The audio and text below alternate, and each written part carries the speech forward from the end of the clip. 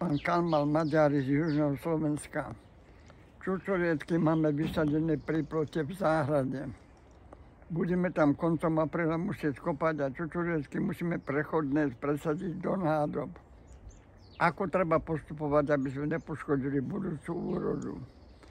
Pán Kalmán,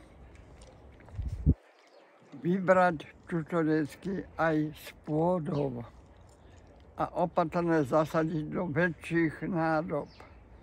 Pridajte tam troška rašeliny a zalejte vodou a dajte to nie na slnko, ale do tiena.